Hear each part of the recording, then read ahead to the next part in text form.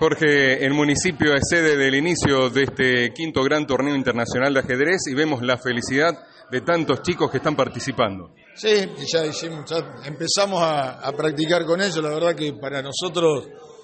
como vos decís, nos llena de alegría, el acompañamiento lógicamente de ArcelorMittal para estos eventos, como lo venimos haciendo años anteriores, de la Asociación de Ajedrez, del área de deporte, es fundamental también que en Villa vaya creciendo, creo, creciendo, esto creo que el quinto torneo internacional que se hace en nuestra ciudad, lo que genera también un movimiento gastronómico, turístico, de la hotelería, porque ya esta mañana me estaban llamando por esa situación. Entonces para nosotros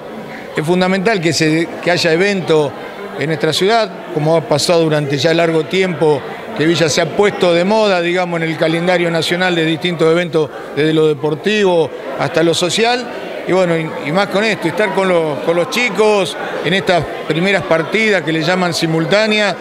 con todo lo que venimos trabajando desde la ciencia y la tecnología, agregarle todo lo que tiene que ver el, el conocimiento y las estrategias que tienen que trazar a la hora de, de, jugar una partida para nosotros es fundamental y es fundamental también creo que para, para la ciudad, por eso estas cuestiones tienen que,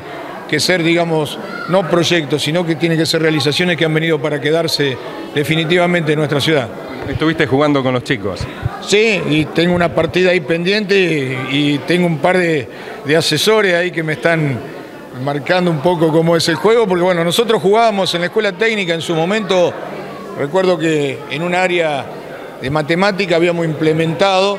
todo lo que tenía que ver el juego de ajedrez. Entonces se trazaban las diagonales, eh, distintas cuestiones, los triángulos, y a partir de, del movimiento se, también se aplicaba en matemática. A partir de ahí había aprendido a jugar algo de ajedrez, el tiempo,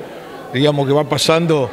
eh, de alguna manera no, al, al, no practicarlo seguido, no me acuerdo tanto, pero los chicos me ayudan, así que probablemente en las próximas partidas me voy a anotar. Es importante incentivarlos, ¿no? Para que ese entusiasmo no se pierda. Sí, eh, vuelvo a decir, esto es una. Primero la Asociación de Ajedrez, a la que nosotros también le estamos dando lugar, la estamos acompañando, como a distintas asociaciones, ahora estamos. En poco tiempo vamos a centralizar todas las actividades deportivas a cargo de, Vero en el predio Silsa, la idea que ahí haya un lugar también para que las asociaciones se puedan reunir, puedan de alguna manera proyectar sus distintas actividades y no tengan que estar pagando un alquiler, bueno, todas estas cuestiones que las teníamos pensadas en este tiempo se van a empezar a ejecutar. Y lógicamente esto es trabajar no solamente por la niñez, porque al, ajedrez juegan desde las infancias hasta los adultos mayores, entonces es para que este juego de ciencia, para este, digamos, tener un tiempo para pensar creo que, es importante para, sacarnos a veces de, del ritmo de vida que con tantas dificultades que hay,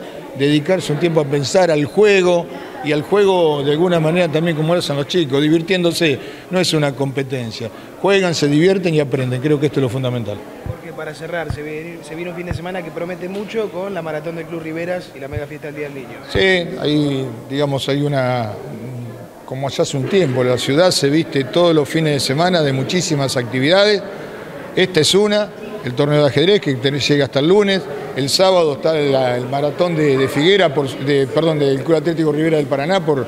por su aniversario, también un evento importantísimo que, que, pone en relieve también la historia de uno de los clubes más importantes de, de nuestra ciudad, de los históricos, tanto Rivera como Talleres. En este caso Rivera hace un evento que va a mover muchísima gente. Nosotros estamos acompañando fuertemente este evento que tiene que ver con lo deportivo y el domingo tenemos la, la mega fiesta del Día del Niño que organizamos lógicamente con el canal, con, con eh, Asindar ArcelorMittal y va a ser una, una sorpresa para toda la gente de la ciudad y la región. A partir de las 15 horas va a estar habilitado el predio y calculamos que va a terminar tipo 19 horas, pero los invitamos a que vengan porque se van a llevar una, una grata sorpresa de todo lo que tenemos preparado para nuestra infancia, más allá de lo con mucho esfuerzo y también con acompañamiento municipal se están haciendo las distintas vecinales y plazas.